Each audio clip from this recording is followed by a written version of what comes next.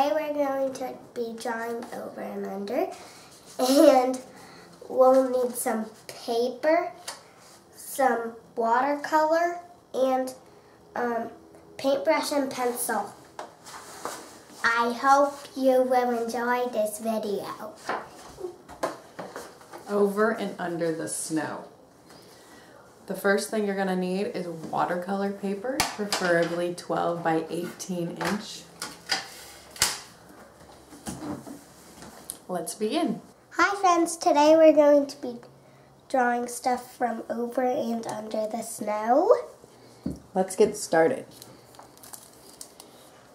First thing we're gonna do is fold our 12 by 18 inch paper in half, just like this.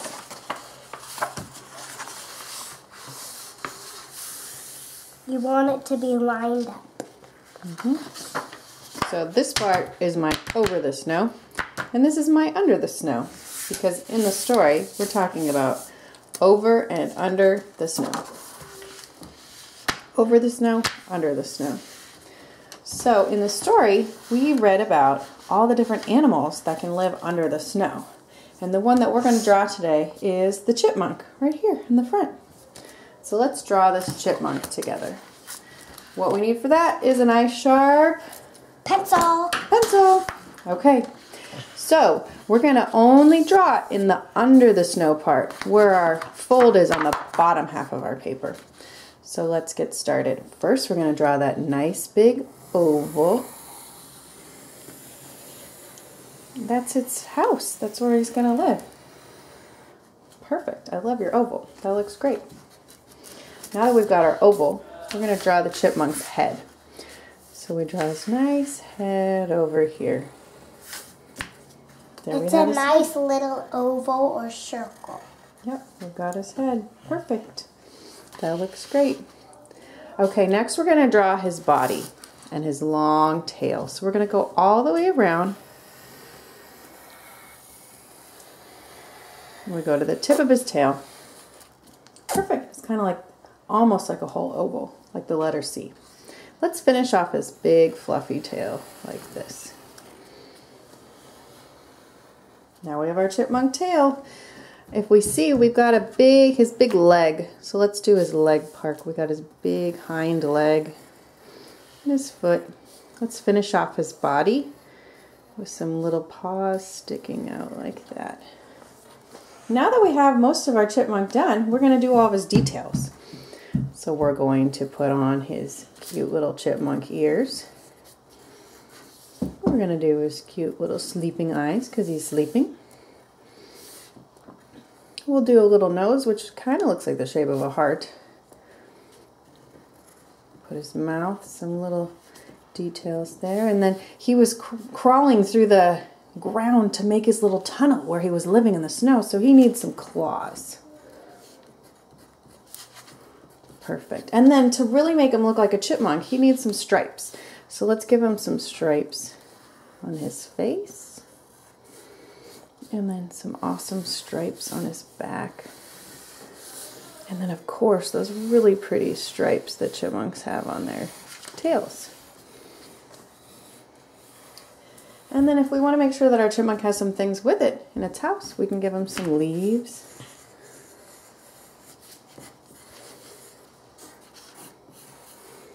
Whatever that you want to put.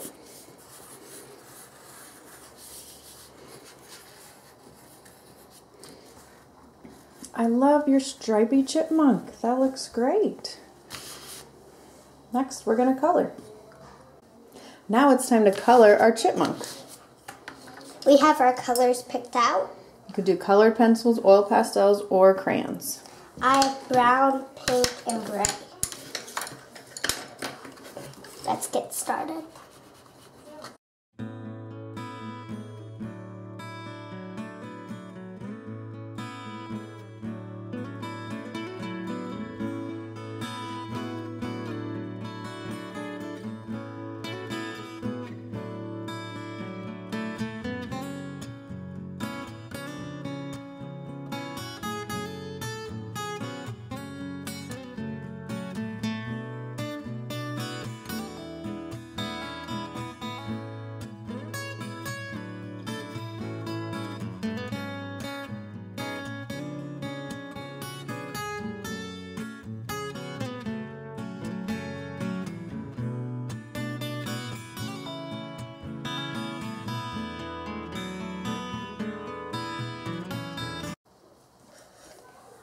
Now that we colored our chipmunk and made it, we are going to start painting with our watercolors. Awesome. Nice coloring. I love how your chipmunk turned out. That looks great. And this is the difference. I have an oil pastel one and a colored pencil. They both work. So let's put our colors away and get ready to paint. Now we are going to be doing the watercolor top top part of our folded page of paper. Yes, so we have our wonderful coloring. We did our one in colored pencil and the other one in oil pastel of our chipmunk. And now we're going to be concentrating on just painting that top part, the over the snow part. So we're going to be using our watercolor paper. We're going to use the top half. And, and our big brush. A nice big brush, some water, and we're just going to be using those two these two cool colors like the cool winter sky. So we've got blue and purple that we'll use to paint the blue over the sky.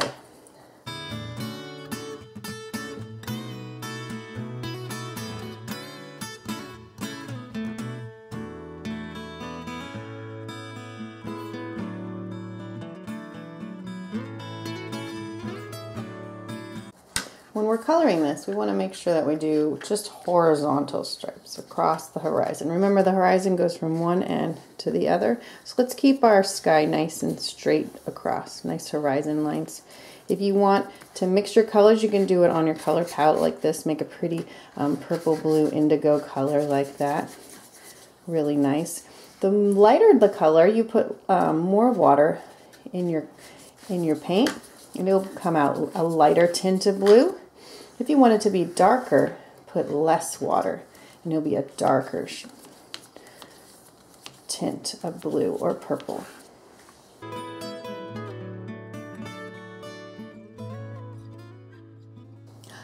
Now that we've got, we've covered our entire over the snow part all the way to the edges, got all the beautiful watercolor paint there. Now we're going to be painting under the snow.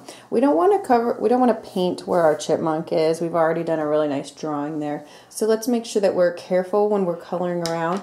We're going to just use kind of the colors of the earth. So on our color palettes with our watercolors, that's going to be things such as the greens, the browns, and then black, which when we use more water, we can turn into gray. So we'll be using those three colors to draw, to paint and color under the snow.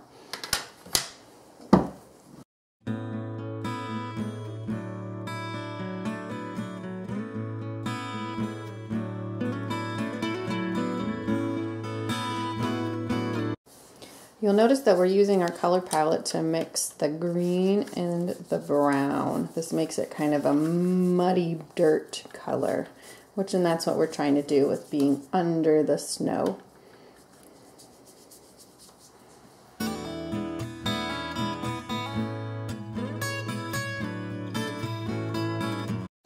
As you can see, we've finished our painting portion of our project for over and under the snow. They're really wet right now, so we're going to need to let them dry for a while. We're going to um, set them to dry while we work on the next part, which is making some silhouettes for our snowy scene. So we're going to put these aside to dry and then start our next part. In the story, you'll notice there's some beautiful silhouettes of the trees, specifically these beautiful pine trees. You can see they come in different colors, but mostly they're white like the snow. We're going to be cutting out silhouettes to go on our mountain scene of over and under the snow. In the story, again, there's lots of silhouettes. There's a there's a little chipmunk on right the there. edge. And there's our little chipmunk in the story. So we're going to be um, cutting out some shapes of silhouette trees, such as like these. For this part of the project, you're going to need a pencil and a white piece of paper.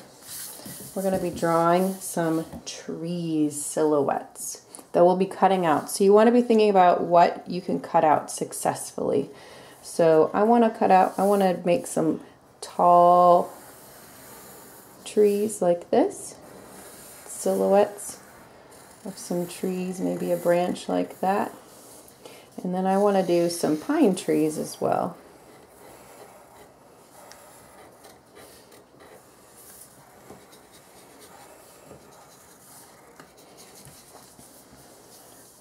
So remember, we're just doing the silhouette. We don't need to do any details, just the outline of the tree. But yes, uh, a triangle shape is a great shape for a silhouette of a tree. That's awesome. I love that. That will look so fun on our on your over and under the snow scene. You can make them pointy or curvy.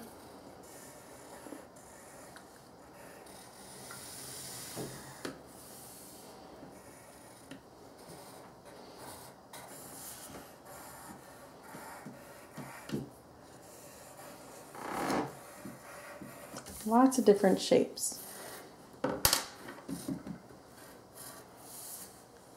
A little one that's growing, that's trying to grow. Perfect. Next, we're going to cut out the silhouettes of our trees. So we're going to use our scissors and do some cutting.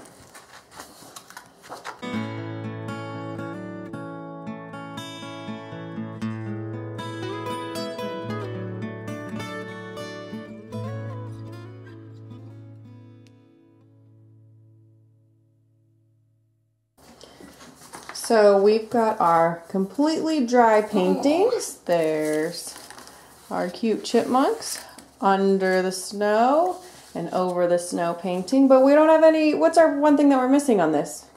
Silhouette. Silhouettes. But then the whole story is about what? Snow. Snow. It's about the snow. So we need to add the snow. So for our trees to have somewhere to be, we need to have snow. We've got all of our trees that we've cut out, but now we need to add our snow across so we have somewhere to glue it. So we're going to take paper. Ta-da! And we're just going to cut a nice wobbly line. We want to we don't want to cover our whole paper, but we want it to be the length of our horizon. So it does need to be this long, just like this. So we're going to cut a nice can draw it or cut it. A nice line to go across the whole paper. Use your scissors and cut it. And this is going to be our horizon of our snow. Just like that.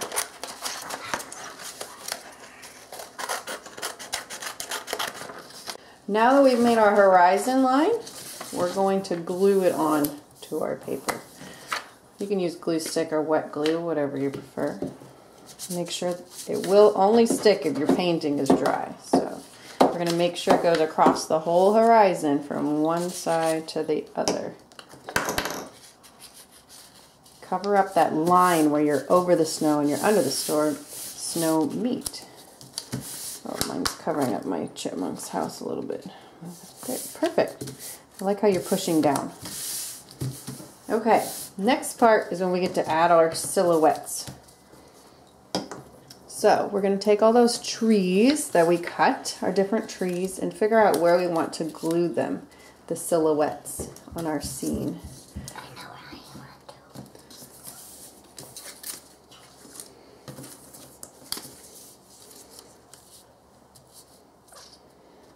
And once you've kind of figured out where you want to put them, get out your glue. We're going to glue those on too.